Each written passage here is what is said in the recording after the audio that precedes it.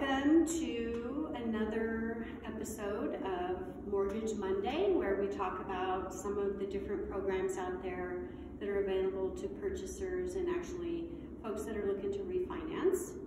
I, of course, I'm Joanne Toledo, and I'm with Remax Masters Millennium. And today I kind of want to talk about my one of my designations. I have an SRES, which is a senior real estate specialist designation that I earned in 2012. I wanted to focus on a special segment of the market, those seniors that are going through major changes in their life. And I wanted to be able to help them appropriately, so I did earn that designation. And part of that designation is um, having experts available to assist them that I trust. And one of those is Shana Judd that I've been lucky enough to meet and work with. Shana is with Mutual of Omaha Mortgage, right? Yes. And so I'm going to turn it over to Shana, let Shana introduce herself, um, talk about who she is and what she does. Thank you. Thanks, Joanne. Thank, Thank you. you for having me today. Um, I really appreciate it. So I'm with Mutual of Omaha Mortgage and I am a reverse mortgage specialist. So I work with older adults and their families. Um, I don't do any traditional forward lending and what I mean by that is like a traditional 30-year fixed loan. So I specialize in the home equity conversion mortgage, also known as a reverse mortgage. And uh, Joanne, and I have known each other for several years and have worked together and really um, focus on working with, like I said, seniors, people over the age of 62.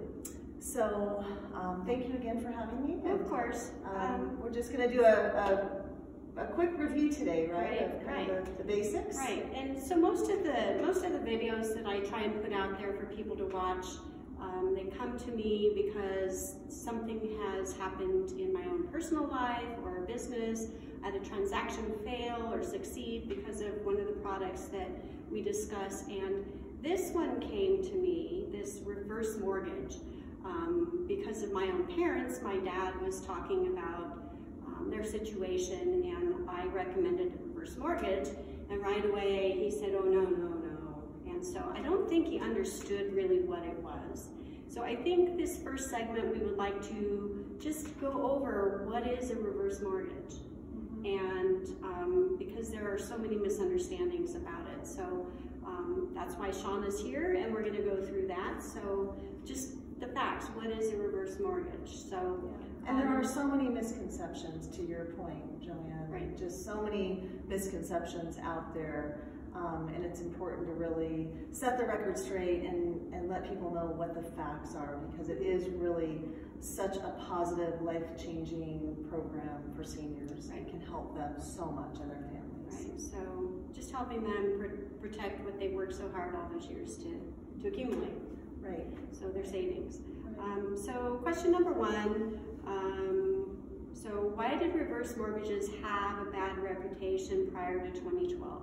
What happened? Because that's when I know um, they really had a bad reputation and no one wanted to do reverse mortgages or no one would have ever recommended that and the elderly people would have never done that. What happened and what was going on? Why was that, why was that such a problem then? Yeah, and it's really important to understand that and understand the history of what happened. So prior to 2012, um, FHA and HUD, and the program we're talking about, reverse mortgages, under um, HUD, and it is an FHA program. And um, prior to 2012, um, HUD and FHA did not require both husband and wife to be on the loan. And it's surprising, and most people say, wow, why would they do that? Well, no one knows why uh, they did it. And uh, what would happen in those days frequently is that um, typically um, one spouse, a lot, of, a lot of times the husband, would go out and get a reverse mortgage and not tell the wife, and then the husband would die, Ah, and then the wife was not on the loan, and so then the wife had, you know, 12 months to refinance the loan or sell the house. So that problem is completely eradicated. It is eliminated. In today's world, with reverse mortgage, both people have to be on title and have to be on the loan. So the requirement is that both people have to be over the age of 62 and be on the loan and be on title. Now there are some circumstances um, where one person can be under the age of 62. Um, that's really going into the weeds right now and Mm-hmm. um, we're going to have our contact information up on this video later so that's one of the questions you can write down if you're interested in, and ask us about that another time. Yep. Okay, great. Yep. So that, that makes sense. Um, I had no idea, and I can see where that was a big problem. Right, like, right. Yeah, and, and just to, just to add on that a little bit, um, what actually happened was um, Diane Sawyer, who is an excellent Right, journalist, she is, I mean, one of my favorite. She um, interviewed a widow on national television where this had happened. Mhm. And in about 60 seconds, the entire program was decimated. So unfortunately, the reporting in that segment on TV was not, um, it really wasn't um, fair in terms of, they never talked about any of the good things and all the Mhm. millions of families the program had helped. Mhm. They, they focused on that. So unfortunately, people a lot of times will um, focus more on bad news rather than, than good news. Right. You know, bad news travels a lot faster. Right, So, yeah, but- that makes sense. yeah, but again, that problem is completely solved and no longer, no longer exists. So, um, I work a lot with buyers in the market, and of course, they get pre-qualified, and we take them FHA or VA or um, uh, conventional loans, and we get their lender letter, and we can sell them a house.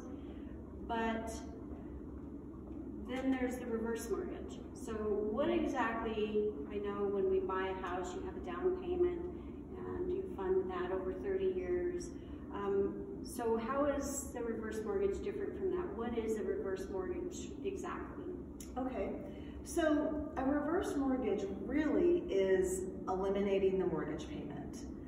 And we have two different programs, and, and in a later show that you and I are going to do together, we're to talk about reverse mortgage for purchase in Right. detail and reverse mortgage for refinance. Right. But reverse mortgage is simply eliminating a mortgage payment and starting a line of credit. Um, and it's really just paying off that loan at the time when the home is sold. So the homeowner is never required to make payments. Um, so that, so the, the whole purpose of this, you know, why, why is this important? It's important because it allows older adults to preserve cash and to create more cash flow. So by eliminating, in fact, I have a client I'm working with right now. Um, we're closing tomorrow, and Oh, he's good. Eliminating a twenty-three hundred dollar a month mortgage Oh my payment. goodness. That's over twenty-seven thousand dollars a year in additional cash flow. Yeah. And he has a, a nice little nest egg with his uh, financial advisor, and he's going to be able to preserve that nest egg and create more cash flow. So it's super meaningful. And and just another note, you know, reverse mortgages. Talking about what happened in 2012. One of the reasons that the program was changed in 2012 is to help people age in place, to stay in their homes. Mhm. Um, we have some great medical technology today that's helping people live longer than ever before. Um, and this is just a financial tool to help people so they don't run out of money. Uh, the likelihood um, is that most people that are retiring in their 60s will run out of money. So, Right. so what the research has found um, is that this program helps people preserve cash. So there's a lot of math and research behind reverse mortgage. Right, and if even if they fall ill, um, I know there are a lot of great programs that help them even in their home, which is a heck of a lot expen- less expensive than going into a nursing facility or something like that. So Yes. that, that makes sense, keeping them, letting them age in place. So Yes. that's that's great. Okay, that makes Yes, sense. yes. So, um, so that's what that is. And then um, the other side of this, um, going kind of going back to my own parents and my family, was there are a lot of myths out there, Mhm. and people talk about it. You know, like with anything, you get these myths out there. So we want to dispel a few of these myths, and so um, let Shana describe in her own words or explain why these myths are there. What what is the truth actually? So the first one I wanted to ask was, um, yeah, this is the big one that they can be forced to leave their home um, forced to move. So, can someone lose their home if they do a reverse mortgage? Is there any danger of them losing their home, or do they have to move? Will they ever be forced to move? They will never be forced to move. They have to pay the property taxes and homeowners insurance. Um, so it's just like if someone doesn't have a loan on their home, if they do have a loan on their home, the property taxes and the homeowner's insurance always have to be paid. Um, but the homeowner always keeps title to the home and they will never be forced to move. So they are guaranteed with the contract with FHA and HUD that they can live in that home forever and ever. So if someone does a reverse mortgage at age 62, Mhm. they can live in that house until they're 120 Okay. and they are guaranteed to be able to stay there, even if they have completely used up all their equity. So in the case of um, a couple where uh, my my situation, example, my husband is seven years older than I am. So if he passes first, then what happens? Then the spouse stays in the home and continues in the home forever and ever. Okay, until the last remaining spouse. Yes, until the last remaining spouse passes, and then the family can decide what they want to do. They can keep the home um, and refinance the loan, Okay. um, just like with any other loan. Um, most people don't know this, but with a what we call a forward traditional loan, like a 30-year Right. fixed loan, they cannot just move in the house and start making payments. Right. They cannot. The Right. lender has the right to foreclose if someone did that. The same thing with reverse mortgage. They have to refinance the loan or pay it off, which would mean for most people to sell the home. Okay. Yeah, that makes sense. Okay. Uh, so the next one here is, um, so your home will be taken away and the family loses the rights to the property. And I, you kind of touched on that a little bit, but we have four kids. And once both of us pass, then it's taken away from my children or, as you're saying, they have the opportunity to do what?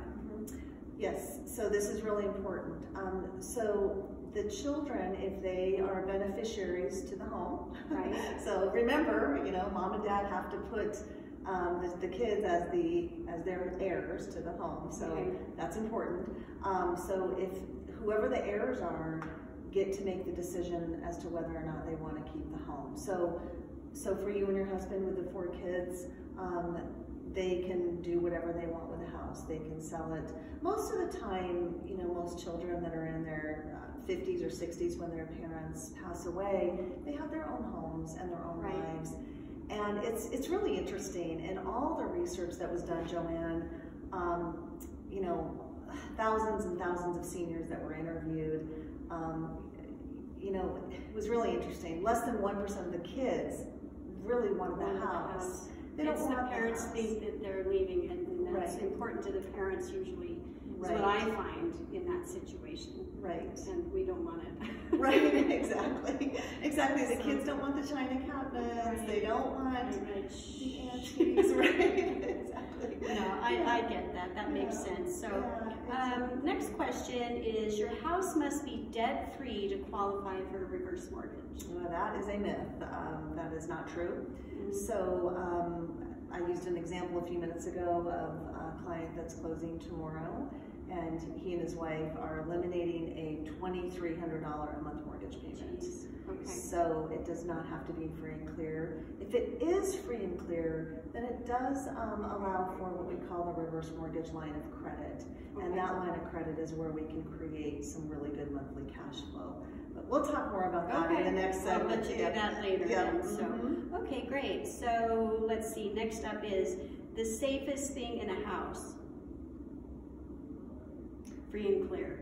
And that's, and that's where, so this is my grandparents, right? Mhm. They had their house paid off. But nobody lives in their house for 30 years anymore, or 15 even, but it's, it's a comfort thing that my house is free and clear.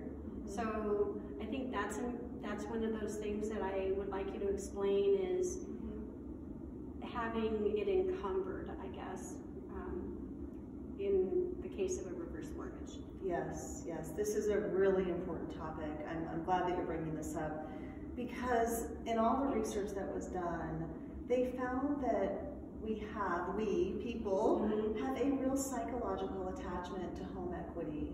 And it's a security thing, and people do feel that that is the safest thing, and actually, it is not. Um, it is the worst um, investment you can make for your money because you're literally tying up cash in an illiquid asset that has no opportunity to really be um, gaining any value in the market. Um, the other thing is that a free and clear title is fair game um, for liens. So um, I've actually worked with several attorneys that um, they, they have their clients do reverse mortgages just to protect the title to their home. Okay. So that's something common. Um, but, you know, we're going to talk about this in, a, in another segment that we're doing about purchasing a home for cash.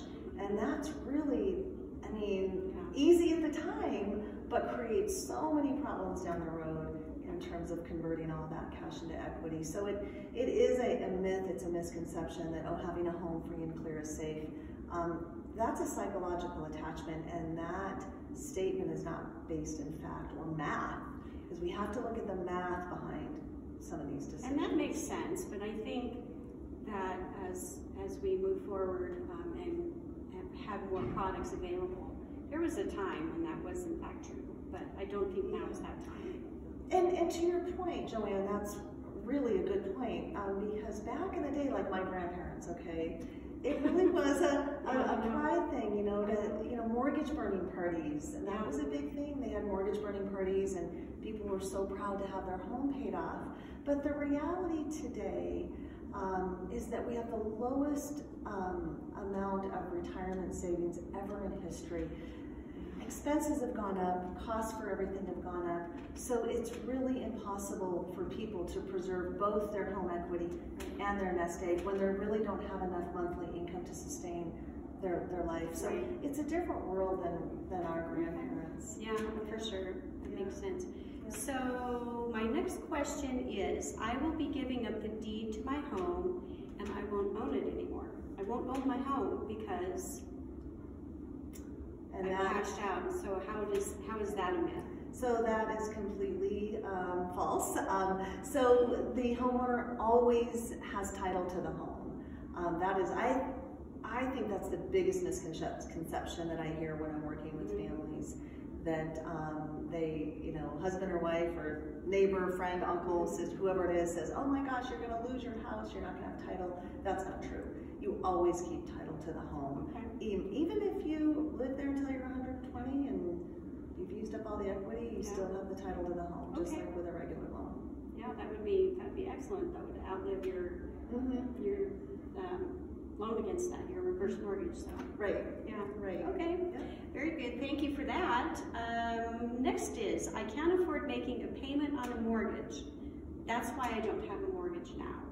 Mm-hmm. So I'm living on a very small social security amount that I've got, and so I don't have a mortgage. That brings me comfort. Mm-hmm. Why would I want to have a mortgage now? Right, exactly. So the reason that people want reverse mortgages and that financial advisors all Right. over the country are recommending this is because number one, um, it allows people to preserve assets. So, you know, having a reverse mortgage, there is no payment required. Um, payments can be made at any time. Mhm. There's no prepayment penalties. But the reality, again, going back to what we just talked about a minute ago, is that most people are going to run out of money. Um, you know, they have one little emergency. I have one client that had over $20,000 worth of dental work. It's so common. Oh, no. Medicare doesn't cover dental work. Um, Medicare does not cover long-term care costs. Right. So having a reverse mortgage in place um, really is a great safety net and again can help people preserve assets. Great. Good idea.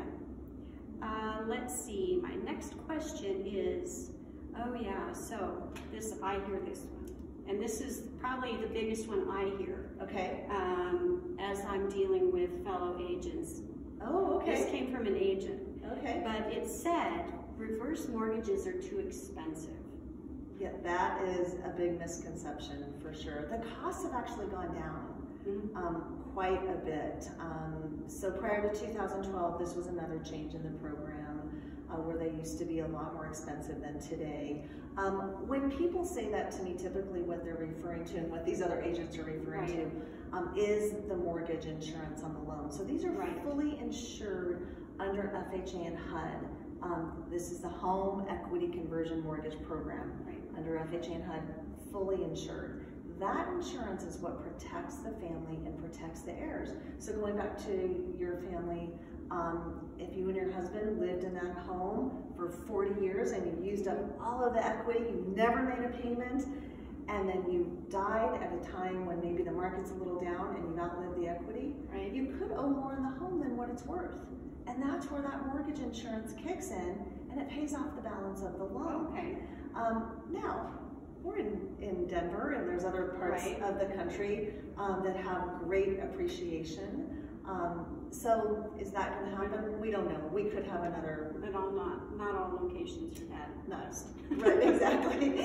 For sure, we're in a blessed area right now. We are. So the cost of the, the mortgage insurance has come down, and that's typically what people are talking about. Okay. Um, Being expensive. being expensive, Okay, but got it. right, but we have to remember expensive compared to what? Right. Running out of money? Right.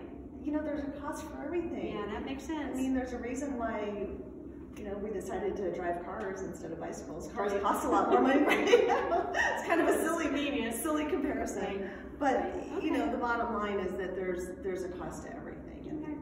you know, at, Makes age, sense. at age 70 and a half, there's even a cost to starting to use your own money by the federal Oh, government. Required minimum distribution. Use your own money. Yes. This is a, a tax-free bucket of, of money that Tax-free bucket of money. tax-free bucket of money. Who doesn't want a tax-free bucket of money? Right. I do. Right. So next one is, um, so my children could get stuck with a big mortgage debt if I live too long. So we take good care of ourselves and we live and live and live and um, finally, when we pass, then does that leave our children with that big mortgage? Absolutely not. Absolutely not. So that's the mortgage insurance that I was just talking Right, about. okay, makes sense. Yep, it's that that mortgage insurance. It's it makes the program completely risk free. It is 100% safe. So the estate is never responsible for the balance of the loan. The children are never responsible for the balance of the Okay. loan, or, or whoever the beneficiaries are. Um, I've had some clients that, you know, um, pass their home on to their grandkids, Wow. or don't have children. So, Right. you know, whoever the Okay. beneficiaries are, Whoever that is. uh-huh, whoever it is, they will never be Okay. um, responsible. The house is what pays the loan back. Um, and actually, when the family goes to sell the home, um, all of the, the costs to sell the home are covered by that mortgage insurance as well. Oh, so paying the, the, the realtor fees, Okay. um, you know, the closing fees and Good to things. know. Yes, Okay. yeah. Okay, So that isn't very expensive when you consider all that at the end of the program. At the Okay. end of the program. So, um, yeah, this, I was just thinking, I was gonna ask this question, but it kind of falls under this. So only people in financial trouble get reverse mortgages. Mhm. Old, so that's the old, um, that, that's how financial advisors prior to 2012 would use a reverse mortgage Right, program. So they would let their client run out of money. Or people just, you know, hey, grandma's in, in hot water and we got, Right. we got What help her. Right, what we're gonna do, and it's a last minute, you know, panic and, and, um, so back in the old days, that they were used for, for people more in financial Right. distress. Since 2012, since we've had so much research published, thousands of white papers, and some very well-known PhDs and researchers that have contributed to um, the math behind the program. But since then, it's really used as a financial planning tool today. And I know that um, personally, in, in our experience, um, I'm hearing more and more. It's actually uh, being recommended by so many financial planners as a part of planning your retirement to get rid of, to reverse mortgage and figure out the rest of your situation. The financial planners are the ones that are recommending it. And I think that speaks a lot. Um, that it's not just grandma's in trouble, you know, we're having a hardship. So um, I, Um, I do know that, and I'm hearing more and more of that, so. Yes, and, and financial planners are also recommending reverse mortgage for purchase. So um, I teach re- um, reverse mortgage classes to financial advisors and real estate agents. And um, so, you know, a lot of times when people are thinking of moving, the first person they call is their financial advisor and their real estate agent, Right. typically in the same day. And, and it can really help them, again, preserve assets. Right. So, Okay. yeah. So, um, I guess I have one more question, and it's not on here. Okay? So, um, just as we've been talking about it, but what if a, an elderly couple does a reverse mortgage and they do fall into some type of hardship? Is there protection under like a bankruptcy? Um, if, if that were to be the route they had to take? As far as your assets that you have, is there any danger um, if they run into a financial situation? So they have the reverse mortgage, but then they needed to file bankruptcy If- after? For whatever reason, yeah, if something were to come up, is, will they lose their home? No, they would have to, I I would say seek the advice of an attorney. Okay. Um, no, they, they are protected under the bankruptcy laws with their home, just like with any other. Right, I suppose know. it would be their situation um, individually, so, okay. Right, right, and I'm just not familiar with the bankruptcy laws. Yeah, I don't either, Um, but I was just thinking there are some things that happen um, with um, medical expenses being as high as they can get. I don't know, I don't know. Exactly. Well, they, there are, so with reverse mortgage, we, we do call this a great protection from Medicaid. Mhm. Just to touch on that really quickly. Um, because this is under HUD and FHA, um, we've got one mortgage filed with HUD and one with, with FHA. Right, So there's two on there. So the chances of Medicaid putting a lien on someone's home is, I mean, Yeah. that they wouldn't because when they when they look at the value of the home, they're going to see that there's these two mortgages already filed. Um, so we do call this a Medicaid protector. okay. Um, so that can be helpful. But in terms of you know answering the question on the bankruptcy, again, I would say seek Yeah, I advice from an I was just thinking, you know, things they- happen, so. Yeah, but they are, the home is always protected under the bankruptcy Okay. laws. And then, um, again, with anything that happens, you know, um, they would always want to call the loan servicer. So if they're gonna, you know, after they file bankruptcy, they'd want to report that. Okay. So I think that's all the questions that I have, Shana. Um, maybe you can just summarize here um, and explain, you know, Yeah. like I said, in summary, what the program is. Um, I think you've done a great job uh, with all the questions and really outlining it, but um, I'll just let you finish up here and Okay. we can move on to our next segment. Great, great. Well, reverse mortgage is really all about preserving assets. And there's two main programs, reverse mortgage for refinance and reverse mortgage for purchase.